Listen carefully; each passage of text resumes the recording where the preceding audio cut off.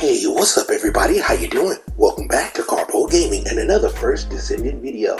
Well, the beta is out right now. If you didn't get a chance to get your hands on the beta, I got some good news for you. Because you can get a free Steam beta code and a whole bunch of loot with the Twitch drop event that's happening right now. Today, I'm going to walk you through it so you can get some loot.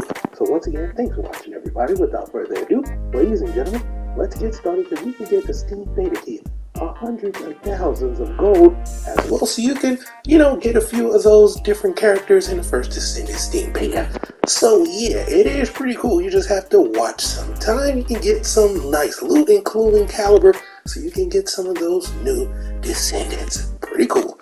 So head over to your twitch and just look at anybody that's streaming the first descendant that's all you have to do. As long as they have Twitch drops enabled, pretty much you're good to go. Just keep watching some of these awesome content creators get your drops. Now, if you head over to your drops page, we want to show you exactly all the loot that you can get. One thing you need to make sure is that you have your Twitch account linked to your lovely Steam account, and you pretty much are good to go. Now, all you have to do is watch for 15 minutes to get a Steam beta key, 30 minutes for 100 thousand of that gold.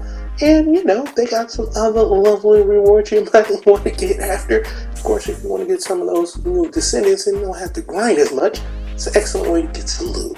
But right now, that's pretty much going for the video. I hope you truly enjoyed it. As always, if you're new to the channel, how you doing? Welcome. Don't forget to subscribe right here at Karpo Gamer. Upload a wide variety of videos ranging from updates, tips and tricks, guides and news, and a whole lot more. So hopefully you enjoyed this video. Once again, thank you everybody for all your love and support. As always, I'll be seeing y'all in the next one. Later.